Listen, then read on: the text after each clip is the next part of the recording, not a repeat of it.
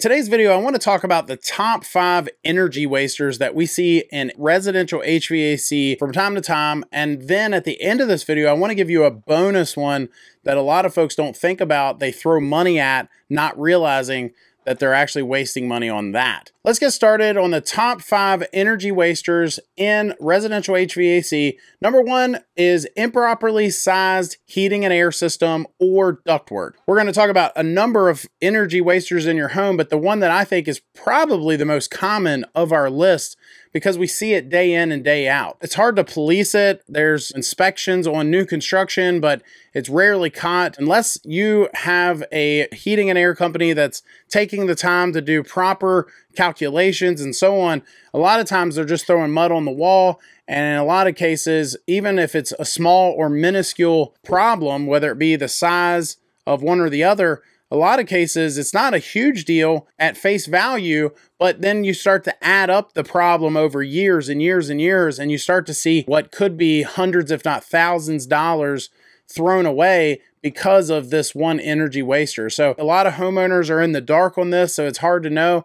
It's okay to get a third party opinion. We're starting to see more home scientist type guys out there that act more as a consultant just to make sure that these things are done properly. They're going to be a lot of times the one that will step in and make sure that the calculations on a lot of this stuff is correct. Number two, one of the biggest energy wasters for heating and air systems is the ductwork. What I mean by that is the fact that it's leaky ductwork. I've seen some studies saying that as much as 30% of the energy being produced by your heating and air system is actually being wasted by the leaky ductwork in that home. And one of the things we've talked about in some of our videos, and we're going to talk about a little bit more in this video, is the fact that you can hire someone to install a product by AeroSeal, and I'll put a link to that company down in the description of this video, but you can have your contractor actually install the product. They can test the ductwork before and after so you can know that you're getting what you're paying for. You're going to get better sealed ductwork. You're going to see some customers have said as much of a savings on their utility bills that within a two or three year time period, that it actually paid for AeroSeal treatment. That's something I would definitely look into. Have that ductwork tested. They can show you how leaky it is. And then after the treatment is done, show you again how leaky the now sealed ductwork are. So if nothing else, if you can't find a contractor that installs that product, then I would say reach out to AeroSeal when you click that link, reach out to them directly and they will link you up with a contractor in your area. That way you can get that done. Number three, inefficient systems or technology. We've now gotten to a point where we're seeing systems that are well above 20 SEER in some cases, and we still see folks going with the cheapest thing on the market.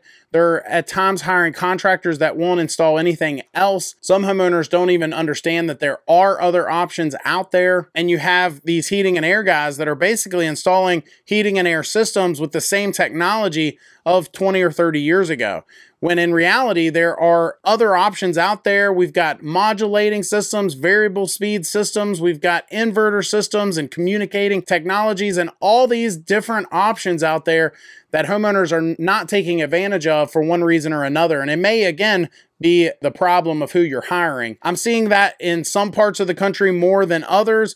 But I think if you turn over enough rocks, make enough phone calls, you might be able to find what you're looking for and someone to install what you're looking for. I would argue that it's a bigger deal on who installs your equipment than the equipment that you're installing.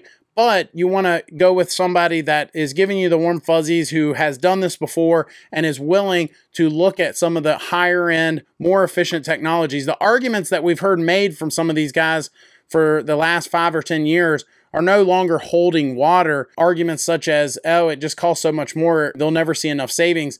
It's just simply not true. So I would definitely look at finding someone that will install one of these higher end systems, if nothing else, than to just get a free estimate. See how much more it's going to be. Number four, neglected maintenance or poor maintenance. A lot of homeowners, I remember talking to a lady recently who told me, I didn't even know that my system needed any maintenance.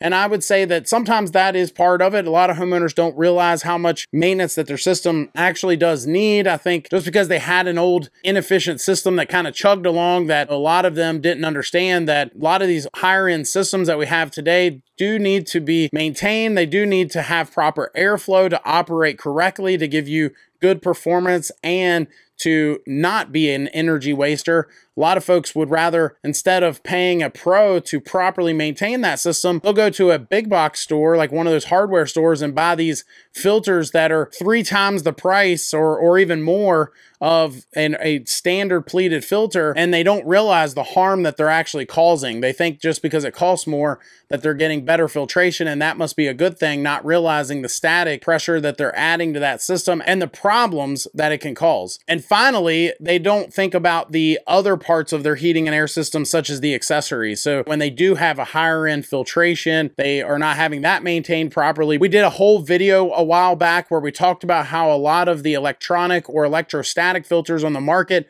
are useless because they are not maintained properly. Definitely check out that video if you haven't seen it. I just had a customer last week who had a humidifier who didn't understand that that humidifier pad needed to be re replaced from time to time and it was starting to literally turn to dust. Just by touching it, it would crumble in your hands. Not just neglected maintenance on the heating and air system itself, but all systems when it comes to their home, including the accessories on that heating and air system. And then finally, number five for energy wasters with your HVAC system, and that is we see homeowners throw money a lot at a zoning problem in their home when it's actually a ductwork problem or vice versa. It's a ductwork problem and they treat it like it's a zoning problem. We did a whole video on that as well where it breaks it down and it's easier to tell whether or not you have one or the other. But overall, just having that ductwork, number one, installed properly and also balanced properly so that way it's not wasting energy when you're having one room that is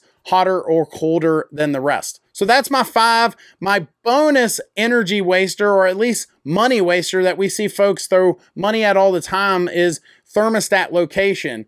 And you might say, well, what do you mean by thermostat location? We see homeowners all the time. I'll actually have people comment on my website, newhvacguide.com, where we help homeowners through the process of buying a heating and air system and understanding all the problems and issues that they're up against.